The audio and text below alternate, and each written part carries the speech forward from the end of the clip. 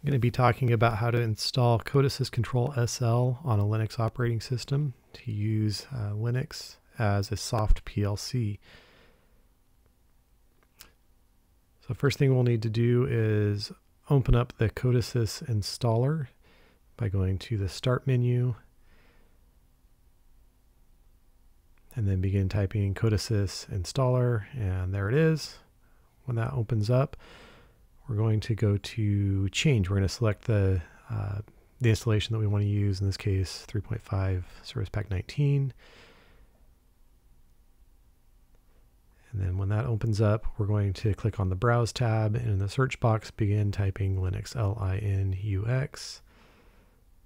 That gives us a few options uh, for an ARM, ARM64. We're going to choose just the Linux SL, that's for a normal uh, PC operating system and we have a version. I'm going to choose the latest version.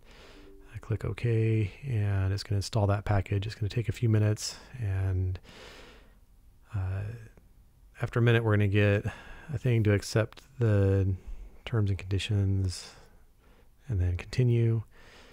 And I've sped this up. Uh, this takes, depending on the speed of your computer, uh, 45 seconds or so. And if we go back to the installed items, we can scroll down and there is our Codesys for Linux, for Linux SL that we just installed. Now we can jump over to Codesys and click on the Tools menu. Uh, you may or may not have the option for Update Linux. Uh, if it's not there, you have to add that to the Tools menu. So we're going to go to Customize and then choose the Tools menu. And then scroll down. I'm going to just put it next to the there, uh, add command, scroll down to uh, runtime deployment, I think, and then update Linux. Check that. You can check the ARM options if you've installed the the ARM uh, runtime also, and then confirm that the one used added is there. Click OK. We can go back to the Tools menu, and there's update Linux right where we added it. So now I'm going to just create a simple program here, um, use a standard project template. I'll give it a name. I'll just name this uh, Linux.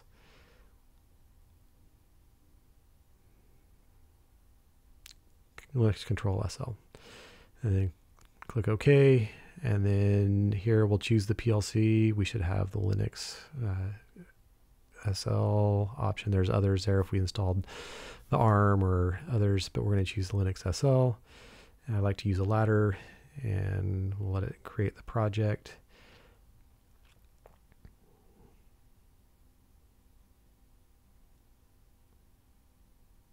I'm just going to do a simple uh, a button and a lamp. So I'll add those elements a contact and I'll name that button I'll declare the variable and then I'll add a coil and I'll name that lamp and declare that variable. Now I want to create some visualizations or a visualization to go along with this button and a lamp. Um, so I need to add that to the application. So right click on the application and I want to add a visualization, visualization manager first and just use the, the default options there. And that should add a visualization uh, manager and the web view. Um, you can change these options if you'd like. I'm just going to keep all the defaults for now. And then I need to add a visualization that will be the start visualization that we'll add here. Um, so again, right click on application, add object, go down to visualization, add new. Uh, you can give this a name. I'll call it button and lamp, button underscore lamp. Uh, button underscore and underscore lamp. Sure. Um, so out of the the tools, let's just grab a push button.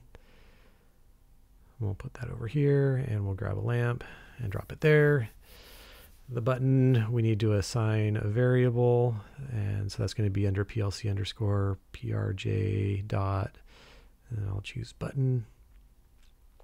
And let's make that a push button instead of a toggle.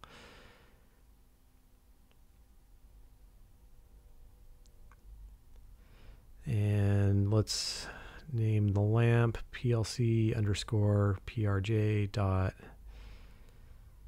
lamp.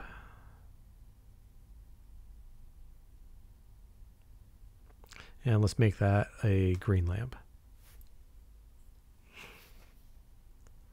Okay, so now we've got a visualization. Uh, we need to upload it to the PLC. Um, let's oh, let's go ahead and build first. Um, generate code.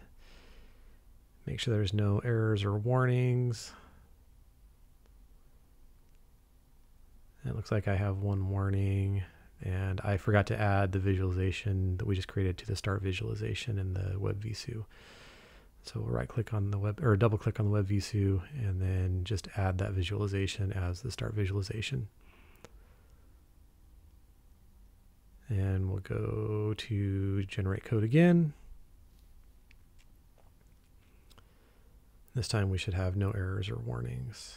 And it looks good.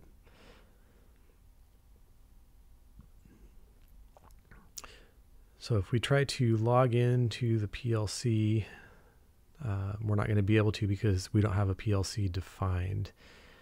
Uh, we need to first upload the runtime to our Linux installation. So we'll go to update Linux and we need to have a Linux server already set up, or a, it doesn't have to be a Linux server, any Linux installation.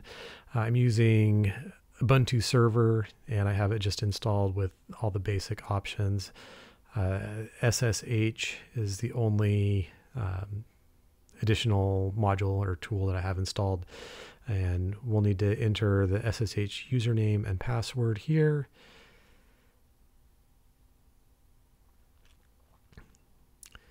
And then we'll go to the IP address and we can say scan. And I have several devices on my network. This last one here, the .234, is my, my Ubuntu server. Um, so I'll choose that.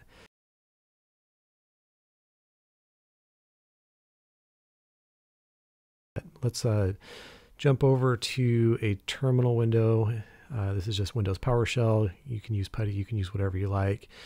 Um, and let's sign in on SSH just to verify that none of the Codesys files are installed yet.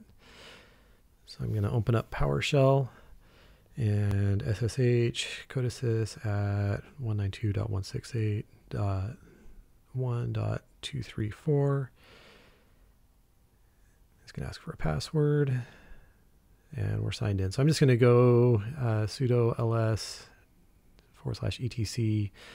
Um, and so listing the directory, the etc directory, there's just uh, a lot of files, but nothing with the name Codesys.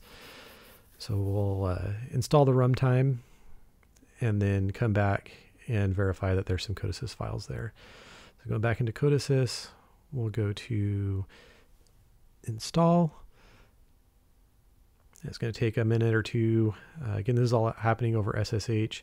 Uh, no, I didn't have a web server installed, no Apache, no anything else. I haven't configured any ports. I haven't done anything. Again, this is just a generic installation of Ubuntu server. When that's complete, the installation, we get this message.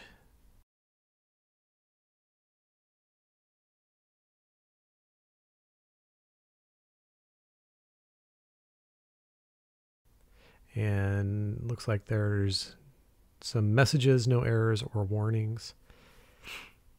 Now let's jump back over to our terminal and do the same thing, sudo ls-etc.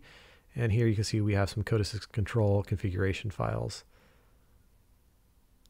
So now we can uh, log in and we're going to check yes to scan for new devices, and move the screen so you can see a little bit better. Um, you can double click on the device and the, the tree on the right also on the left also. Um, we scan for devices, there's nothing found. We need to um, okay, so here's here's the device. We'll check that and say okay. Um, we can look, that is the, the Linux SL runtime. And it's going to ask if we want to set up a password, and we'll say yes. And so you can put in a username and password. I'm going to say Codesys and a password and re-enter the password and then OK. Now it's going to ask us to sign in. So with the username and password that we just created, and now it's going to ask a second time to sign in. I'm not sure why it does this. I, I, think once it's the the device without an address and the device with an address. I'm not sure exactly. Okay, so now we're ready to log into the PLC. And it says we don't have anything installed. So yes, we want to upload the program that we just created. And that's happening. Okay, so we have no messages. Let's go ahead and start the PLC. And we'll go back to our visualization. And when we push the button, the light should come on. Hey, look, it's working. So we can, because we have a web this visualization created, we can open up a browser and navigate to uh, the address of our server and the first time it's going to give us a security uh, notification. We'll just go ahead and accept it. You can see here now we push the button. This is in a web browser and the light comes on when we push the button.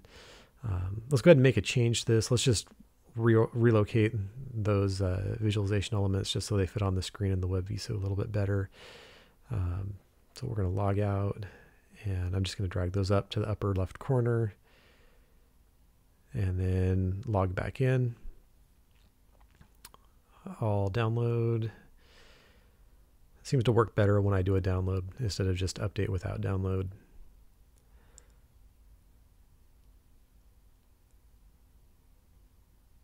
Okay, and we'll start the PLC and we'll jump back over to our browser window. And here we are. So you push the button and the light comes on. Now we've created a Codesys program with a Linux runtime, and we have a WebVisu. Again, I didn't do any configuration for the web server. The runtime installation took care of all of that in Linux. I hope this was helpful. Happy coding.